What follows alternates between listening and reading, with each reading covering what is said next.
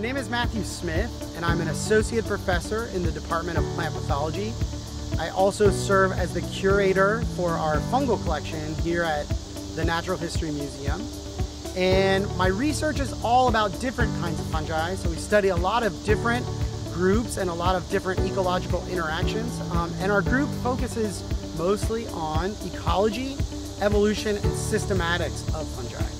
So a mycologist is just someone who studies fungi of all kinds. And for those people that are mycologists, there's a lot of diversity. Some people study plant diseases, so fungi that don't necessarily make mushrooms, but they are still fungi. And some of us focus on ones that make these very big, showy structures uh, that you can see as you walk through the forest. How do I use collections in my research and why is it important?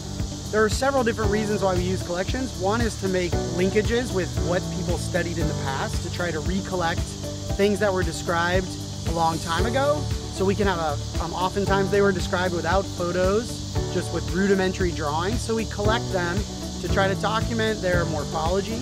You know, when you collect a fungus, many of them, they start to decay instantly. And so they kind of turn to mush.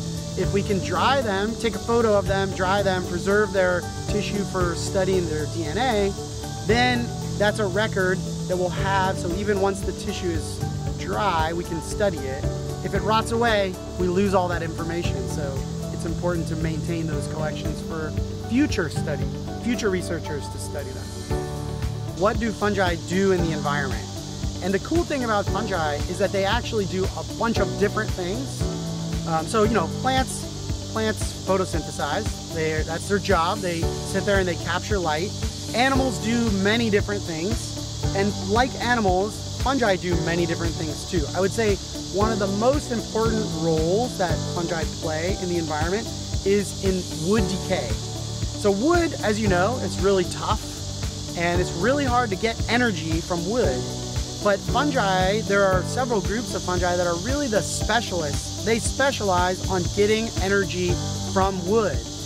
And what you can imagine is if you look behind me in this forest and you didn't have wood decay fungi, over time you would have this really big accumulation of wood. Every time a tree fell, it would just sit there and it would hang around and there would be piles of trees everywhere.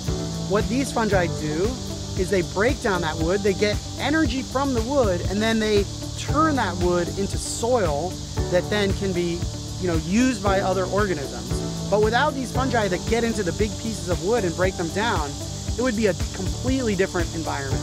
The best way to make sure you're gonna see fungi when you're out in parks uh, is really to go after it's been raining. So to go after it's been wet, and even though it may be a little bit hot and it may be a little bit buggy uh, when you go out there, you're gonna be treated to sort of a cornucopia of fungi if you go when it's been wet.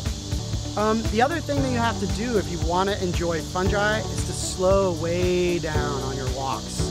So um, you just want to go a couple steps at a time. Look at look at logs, look at the forest floor, and as soon as you start to open your eyes and check your awareness, you will find there are fungi everywhere if the conditions are right it's really important to have parks, which are these preserved areas nearby, so that we'll have an opportunity to see all kinds of organisms in their natural habitats. And certainly for fungi, you can go out on your lawn and find fungi, but if you want to see the full diversity of our local fungi, the place really to go see that is in our parks.